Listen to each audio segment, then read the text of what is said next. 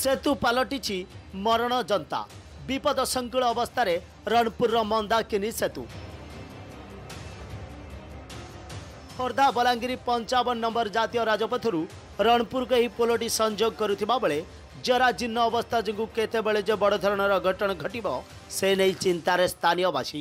ଆପଣମାନେ ଯେଉଁମାନେ ଯିବା ଆସିବା କରୁଥିବେ ସେମାନେ ଅନୁଭବ କରୁଥିବେ ତା'ର ଅବସ୍ଥା ବର୍ତ୍ତମାନ କ'ଣ କେତେବେଳେ ଏଠି ଲୋକମାନେ ମରିବେ କିଛି ଗ୍ୟାରେଣ୍ଟି ନାହିଁ। ପୋଲର ତଳ ଅଂଶ ଫାଟି ଆଁ ହୋଇଥିବା ବେଳେ ମଝି ଭୀମରେ ଫାଟ ସୃଷ୍ଟି ହେଲାଣି ଏବଂ ଉପର ଅଂଶର ବ୍ୟାରିକେଡ୍ ଭାଙ୍ଗି ବି ଗଲାଣି।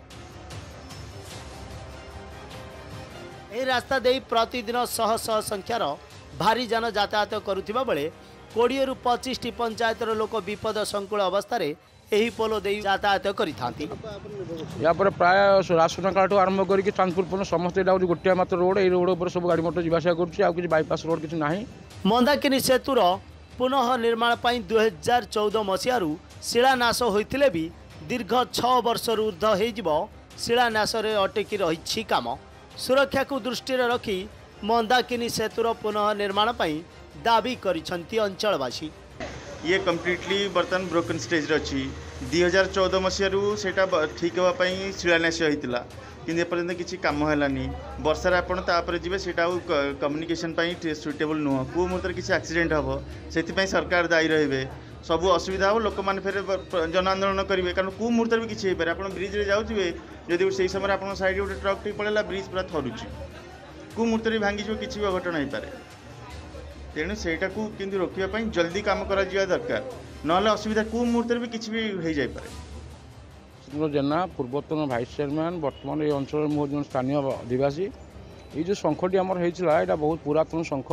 ଏହା ପୂର୍ବ ଆଗରୁ କାଠ ପୋଲ ଥିଲା ରମା ମିଶ୍ରଙ୍କ ପିରିୟଡ଼ରେ ଏଇଟା ଶଙ୍ଖ ହେଇଥିଲା। ବର୍ତ୍ତମାନ ଏଇ ଦୁଇ ହଜାର ଚଉଦ ମସିହାରେ ଏହି ଶଙ୍ଖକୁ ନିର୍ମାଣ କରିବା ପାଇଁ ଆମର ପୂର୍ବତନ ସାଂସଦ ଏବଂ ମ- ଆମର ବିଧାୟକ ଏହାପରେ ଶିଳାନ୍ୟାସ କରିଥିଲେ।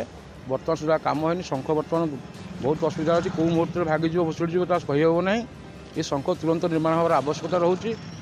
ଆଉ ଏହାପରେ ଭାରି ଯାନ ମଧ୍ୟ ଯିବା ପାଇଁ ନିଷିଦ୍ଧ କରିଥିଲେ ମଧ୍ୟ କିଛି ଲୋକମାନେ ତାକୁ ଭଙ୍ଗାଭଙ୍ଗି କରିକି ବର୍ତ୍ତମାନ ସୁଦ୍ଧା ଏପଟେ ବଡ଼ ବଡ଼ ଟ୍ରକ୍ରେ ଯିବା ଆସିବା କରୁଛନ୍ତି। ବିଭିନ୍ନ ପ୍ରକାର ଲୋଡ଼ ନେଇ ଯାଉଛନ୍ତି ଯାହାଫଳରେ ଶଙ୍ଖ ଭାଙ୍ଗିଯିବାର ସମ୍ଭାବନାକୁ କେବେ ଏଡ଼େଇ ଦେଇ ହେବନି। ତେଣୁ ମୁଁ ଏଇ ଏ ସମ୍ବନ୍ଧରେ ମୁଁ ଚାହୁଁଛି ବର୍ତ୍ତମାନ ସରକାରଙ୍କ ଦୃଷ୍ଟି ଆକର୍ଷଣ କରିକି ଏ ଶଙ୍ଖ ଯେତେ ଶୀଘ୍ର ପାର ନିର୍ମାଣ ହେବା ଉଚିତ। ଯୋଡ଼େ ଏନ୍ଏଚ୍ର ମନ୍ଦାକିନୀ ସେତୁ ହେଲା ମୁଖ୍ୟ କର୍ଣ୍ଣଧାର। ଏଠି ଏଇ ଯେଉଁ ଶଙ୍ଖଟି ଅଛି ସେଇଟା ବହୁତ ପୁରାତନ ଶଙ୍ଖ ସେଇଟା ପଟା ଶଙ୍ଖ ଥିଲା। କାଳକ୍ରମେ ସେଇଟା ଭଙ୍ଗା ହେଲା ପରେ ହେଲା ଉଡ଼ା ଶଙ୍ଖ। ଏବଂ ଦୁଇ ହଜାର ଚଉଦ ମସିହାରେ ଆମର ମାନ୍ୟବର ଏମ୍ ପି ପିନାକ ମିଶ୍ର ଏବଂ ପୂର୍ବତନ ବିଧାୟକ ମାନ୍ୟବର ରବିନାରାୟଣ ମହାପାତ୍ର ସେଠି ଶୁଭ ଦେଇଥିଲେ। ସେ ଯେହେତୁ ସେ ଶଙ୍ଖ ଡିପାର୍ଟମେଣ୍ଟ ଡିକ୍ଲେୟାର କରିଥିଲା ଏହା ବର୍ତ୍ତମାନ ଆଉ ଚ- ଚଳିବା ଅବସ୍ଥାରେ ନାହିଁ। ତାପରେ ଦୁଇ ହଜାର ଚଉଦରୁ ଆଜି ଦୁଇ ହଜାର ଏକୋଇଶ ଏପର୍ଯ୍ୟନ୍ତ ଶଙ୍ଖ ହୋଇପାରିନି ଏବଂ ଏଇ ଗୋଟିଏ ରାସ୍ତା ହିଁ ଏନ୍ ଏଚ୍ ଫାଇଭ୍ ଆଉ ବଲାଙ୍ଗୀର ଭୁବନେଶ୍ୱର ରାଜପଥକୁ କନେକ୍ସନ୍ ହେଉଛି। ବହୁତ ଲୋକ ଏପଟେ ଯିବା ଆସିବା କରନ୍ତି। କାରଣ ସୁନାଖେଳାରୁ ଚାନ୍ଦପୁର ମିନିମମ୍ ଶହେ କିଲୋମିଟର ଏନ୍ଏଚ୍ରେ ଗଲେ। କିନ୍ତୁ ଏପଟେ ଗଲେ ମାତ୍ର ତିରିଶ କିଲୋମିଟର। ସେଥିପାଇଁ ସମସ୍ତ ଭାରି ଯାନ ଏଇପଟେ ଦେଇକି ଯିବା ଆସିବା କରୁଛନ୍ତି। ଏବଂ ଏଇ ଶଙ୍ଖଟି ଭାଙ୍ଗିଗଲା ପରେ ଆମର ନା କୌଣସି ଗାଡ଼ି ଏପଟେ ଯିବା ଆସିବା କରିବ। ଇଭିନ୍ କି ଫାୟାର ଗାଡ଼ି କିମ୍ବା ଆମର ଜନନୀ ସବୁ ଯେତେ ପ୍ରକାର ଗାଡ଼ି ଆମର ଆଉ ଏପଟେ ମିନିମମ୍ ଶହେ ପଞ୍ଚାୟତ ଶହେରୁ ଦୁଇଶହ ପଞ୍ଚାୟତକୁ କନେକ୍ସନ୍ ବନ୍ଦ ହେବ। Up to Khordha district Nayagarh district enter Cuttack district ଆପଣଙ୍କର ଅଲରେଡ଼ି ସେପଟେ ଆମର ପ୍ରାୟତଃ ପଶ୍ଚିମ ଓଡ଼ିଶାର ତିନି ଭାଗ ଏରିଆ ବନ୍ଦ ହୋଇଯିବ। ଆମମାନଙ୍କର ସମସ୍ତଙ୍କର ଅନୁରୋଧ ତୁରନ୍ତ ଏହା କାମ କରାଯାଉ ନ କରାଗଲେ ଆଗାମୀ ଦିନରେ ଜନ ଆନ୍ଦୋଳନ ହେବ ଏବଂ ଆମେ ରୋଡ଼ ବ୍ଲକ୍ କରିକି ବସିବୁ। ସମସ୍ତ ଡିପାର୍ଟମେଣ୍ଟର ସମସ୍ତ ଆସି ଏଠାରେ ପ୍ରତିଶ୍ରୁତି ଦେଲା ପରେ ଆମେ ଉଠିବୁ। ଆଗାମୀ ଦିନ ପାଇଁ ଏଇଟା ଆମେ ଆପଣଙ୍କ ଟିଭିରେ ଗଭର୍ଣ୍ଣମେଣ୍ଟକୁ ମେସେଜ ଦେଉଛୁ।